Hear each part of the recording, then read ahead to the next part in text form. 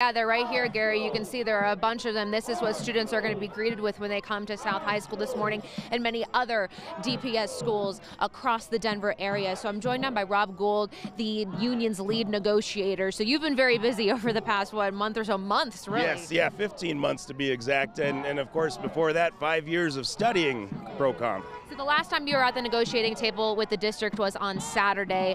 They released what they thought was a very fair deal with you guys. They were going to increase base pay by about 11%, while also adding some more incentives for teachers who are working at high uh, risk or high profile uh, schools, schools that have you know high poverty rates. They believe that's important. That's part of what you guys don't want anymore, those incentives.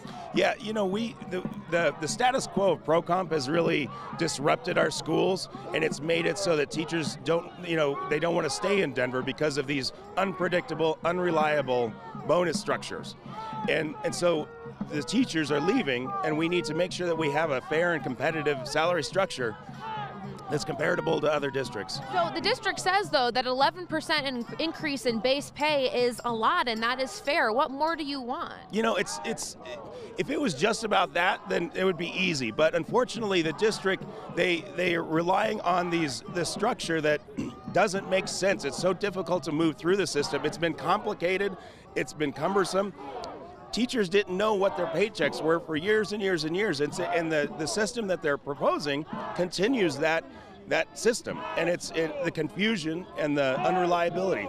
ProComp was something though that teachers were excited about from the beginning, at least many of them, because they thought it was going to add more money to their paychecks at the end of the day. And for some teachers, that ends up happening. It increases what they take home at the end of the year. But what has changed from 2005 until now? Oh boy, so yeah, ProComp was meant to be professional salaries for teachers. We were finally going to be really paid what we were worth.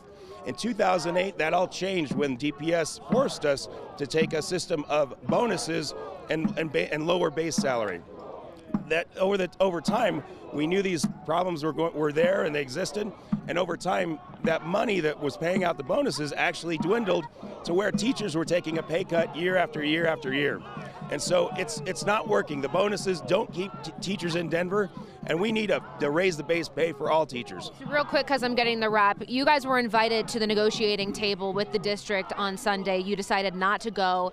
Why did you decide not to go to avoid the strike happening today? You know, we thought we were getting closer on Friday and Saturday, but then when they brought that proposal, they could have brought that proposal to us on Friday, but you know, it, it, just felt like we were spinning our wheels because of the same thing over and over again, recycling. And it's time that we stand up for our students, and it's time that we make a difference in Denver so we can keep our teachers in the classrooms. We want to go back to work. And we want to do that as soon as possible.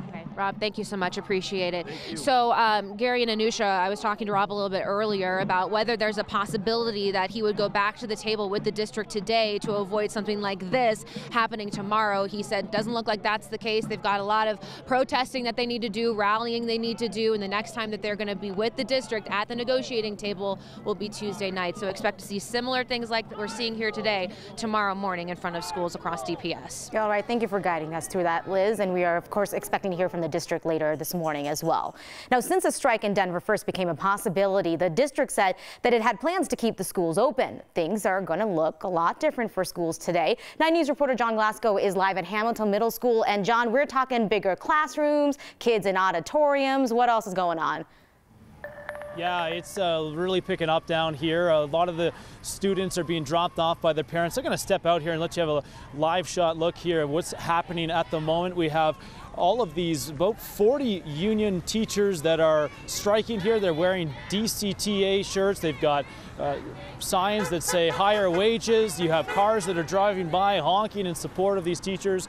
Uh, we're also seeing too that as the students arrive, some of them are actually joining in the, the march here in support of their teachers.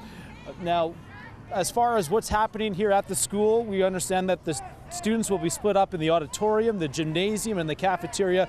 There's about 800 students here. There's eight teachers that are non-union that are going to be on the job. There'll be six substitutes that are expected to report to class today.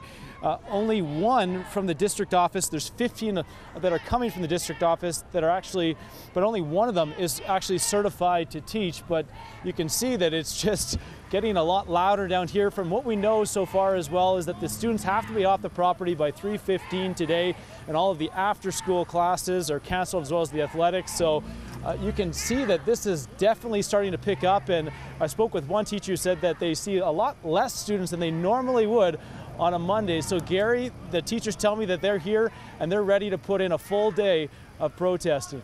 Yeah, looks like it. All right, John, thanks for that update. We appreciate it. Nine News reporter Eddie Randall live at Cheltenham Elementary School. So, Eddie, parents of those preschool kids have to find uh, something else to do because they're not going to have the preschool classes today. Yeah, that's right, Gary. A big talker this morning is the early childhood education classes that have been canceled by DPS. Now, the parents of those students are going to have to find childcare for their kids. Now, there are a lot of different organizations or different uh, parents and uh, strike teachers that are going to be assisting with that, but let's talk more about why this is all happening. The reason for the cancellation is of early childhood education classes is training and background checks needed to staff the ECE classrooms. Now, that's all according to DPS Superintendent Susana Cordova.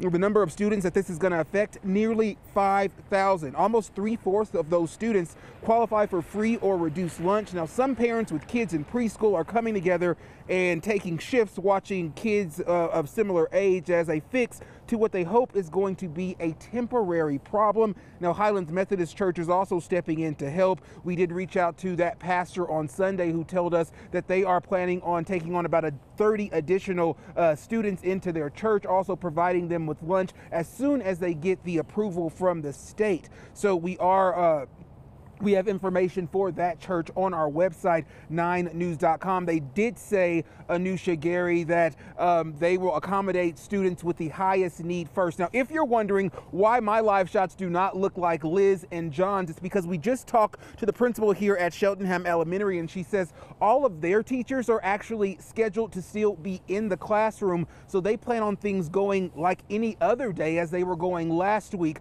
Now, we did hear of another site, Colfax Elementary, that is about five blocks up. We're going to go check out that uh, elementary and bring you guys a live shot from there uh, in the next 30 minutes if we can get to that location. Back oh, to you. All right, very good explanation of what the difference is going on. Thank you, Eddie.